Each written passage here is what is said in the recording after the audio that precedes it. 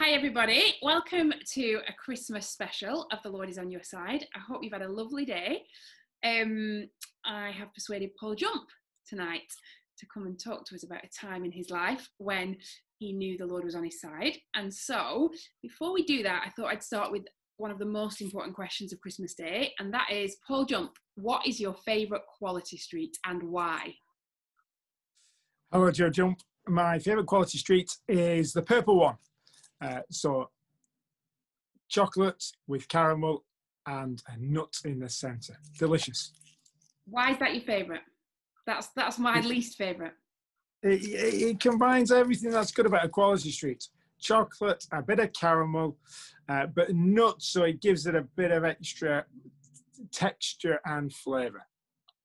And that is why we are good sharing chocolate buddies because mine would be a red one, strawberry or orange cream. I don't really mind, but um, yeah, it's all about the dark chocolate and the cream for me.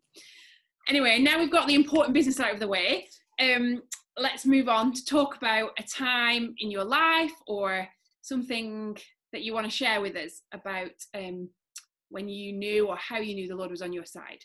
So, Paul, what do you want to talk to us about? Well, I, one of the first times I really felt the Lord was on my side um, when life was difficult was when I began teaching. Uh, I'd done my uh, PGCE and I uh, got a job as a teacher. And uh, for those of you who uh, have done a PGCE or done a, a, teaching degree and started teaching, it's full on when you start. I was a primary school teacher and it really was full on. Um, I also made a couple of uh, errors of judgment, shall we say, by disagreeing with my head teacher, um, who liked didn't like people to disagree with her. So she made life difficult for me uh, as a result, and and that just put a lot of pressure on me as a new teacher, not knowing what I was doing, and uh, with a with a boss who uh, wasn't making life any easier. Um, and so I ended up working all hours of the day and night. You've got to do a lot of that anyway as a newly qualified teacher, but I, I did even more. Um, and some weeks it was 70 uh, plus hours a week uh, of uh, schoolwork. Wow, yeah, I remember we were friends at the time, and I remember you didn't do very much else apart from schoolwork. Um, so, how was there a scripture at that time that you found helpful or that um, helped you manage that level of stress and intensity? Yes. Um, so, I felt quite vulnerable as well as a newly qualified teacher, you know, um, needing help and support. Um, and so, the scripture the Lord gave me, which was uh, wonderful and encouraging, was Psalm 46 it's uh, a scripture that has been uh, helpful to many people this last year as well. And I preached on it um, at the start of lockdown back in March. Uh, God is our refuge and strength, a very present help in trouble. Therefore, we will not fear, though the earth is removed and the mountains go into the heart of the sea, though the waters of the sea roar and foam and the mountains shake at its swelling. Though the world is in chaos, we don't need to worry because the Lord is on our side. That's what I've really felt the Lord saying uh, through that scripture. And I memorized Psalm 46, which isn't very long, but I memorized it and uh, I used to bring it back to mind while I was in the classroom, while I was on the way to school, on the way back from school. Uh, and it really provided a calming influence on my life it was like a balm as well, a real comfort and encouragement. Great. And so I guess that was quite a few years ago now. And yeah, I remember it was an incredibly stressful time. But of, is there have there been other times or other stressful situations where has it been that scripture or has it been other things that the Lord's used to help you? Well, the Psalms are wonderful. And it's usually the Psalms that the Lord uses in um, whatever circumstance I'm in to comfort, encourage, correct, um, uh, because they really uh, there's something about them which connects with my emotions. Psalm 46, the Lord has used time and time again, though. Uh, I keep coming back to it. Uh, as soon as life gets difficult for whatever reason, God is our strength and refuge, a very present help in trouble. Um, if I don't know what to say to somebody who's uh, suffering or in trouble or difficulty, God is your strength and refuge, a very present help in trouble. Um, and so a few years ago, four and a half years ago, when I uh, went to the hospital uh, to visit uh, Max and Kerry and Colin after Max's tragic accident, the words that I said to them when I met them were, God is our strength and refuge, a very present help in trouble. Yeah. Um, and thinking about your experiences, how, how then, just flesh out for us, how does that help? When you're feeling stressed, when you're tempted to work every hour under the sun, um, what what is it about the, that truth that changes things? I, th- I, think there's a few things about it. Uh, the first uh, thing that's true is that um, God is God. He's in control of the world, and we're not. And the world at times appears in chaos. Uh, the waters roar and foam, the mountains shake. You know, he's talking about tsunamis, talking about earthquakes, talking about the very foundations of creation coming undone. And sometimes we feel like that in our own lives, with the very foundations of the world, very foundations of life coming undone. We many people have felt that this year with the coronavirus. We feel like that at the moment with this, um, uh, you know, with with with life seeming seemingly out of control and has not been able to meet people like we wanted to. God is in control. That's what the psalm says.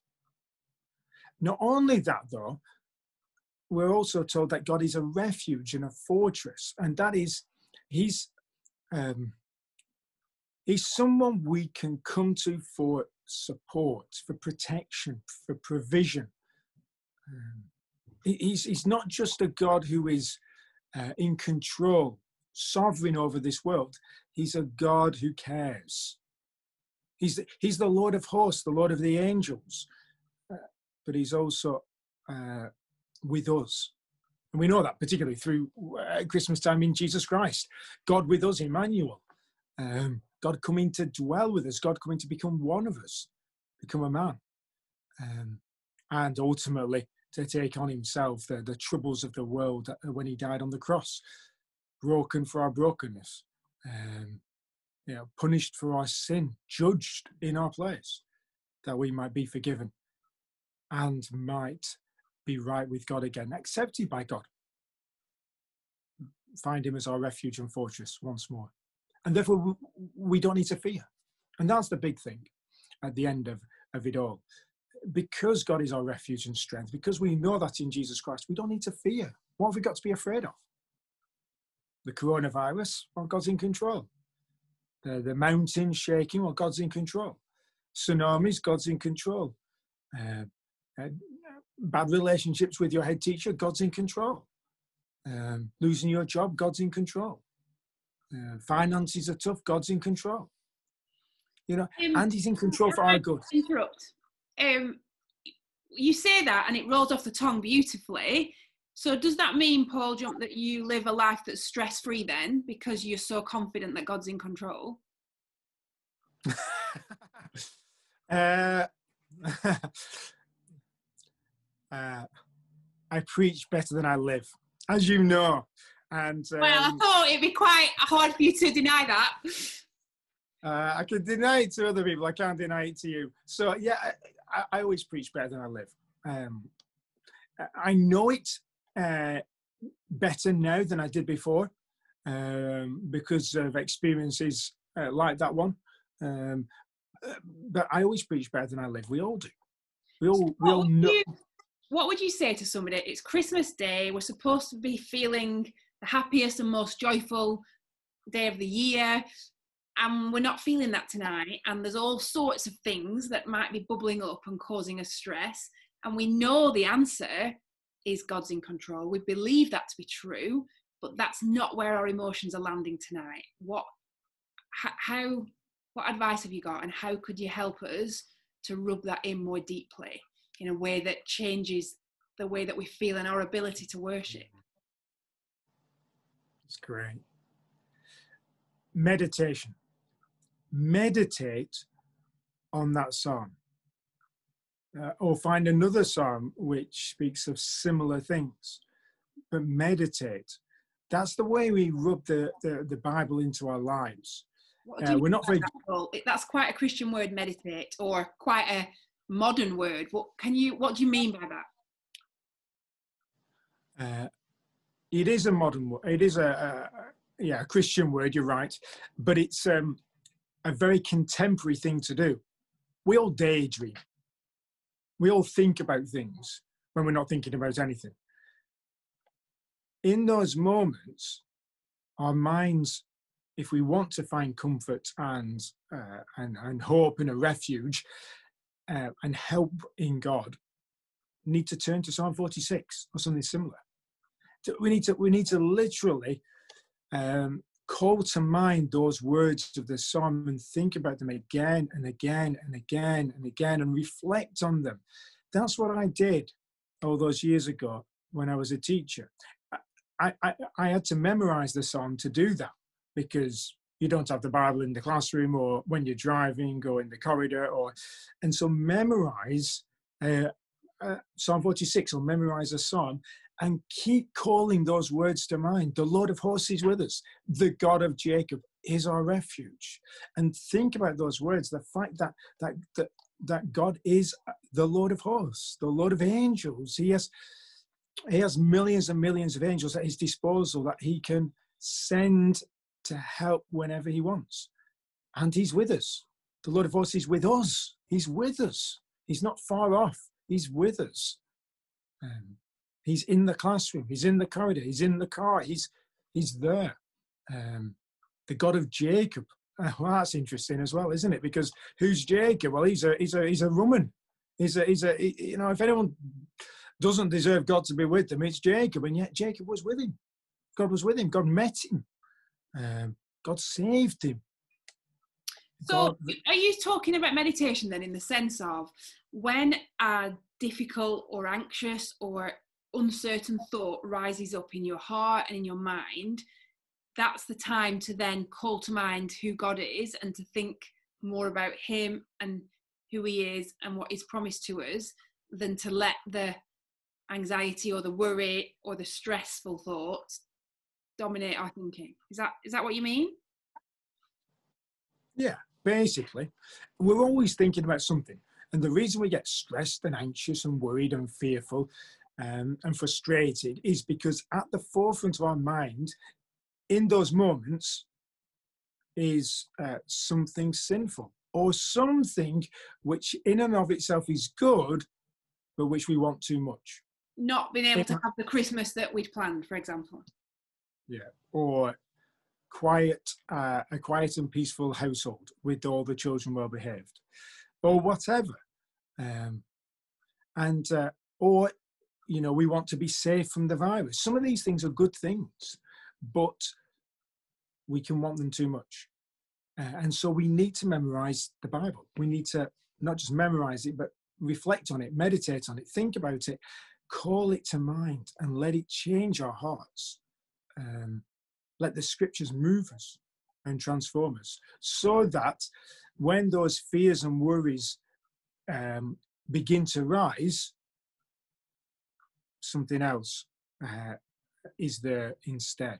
A, a, voice which is stronger a voice which is um, uh, more comforting a voice which can dispel the fears.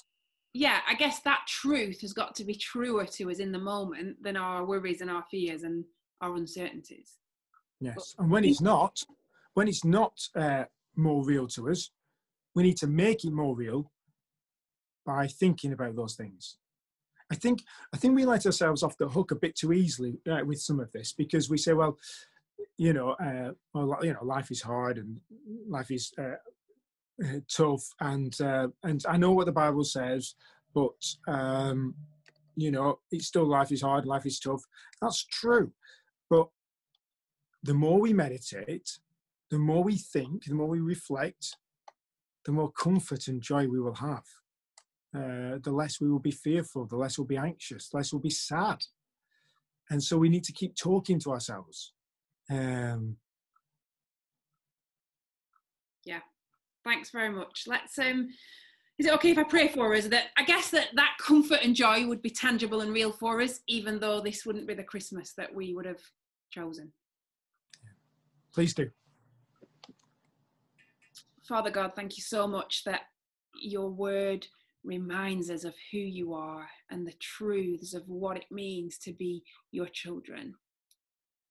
Father, we, we pray that this Christmas time, when we feel frustrated or um, our days haven't gone the way we might have chosen, um, Father, please, would we be those who bring to mind who you are, the privileges that we have as your children. And Father, would you help us to rub that good truth into our hearts and into our minds so that we are filled with your comfort and joy. Father, that's our prayer over this holiday season that we would be those who, with imperfect lives and in stressful situations, know the comfort and joy that comes from you. Thank you for the way that you've done that in Jumpy's heart and life in difficult seasons. And Father, we pray that for all of us today and this next week, that we would be those who experience the comfort and joy that belongs to the children of God. Amen.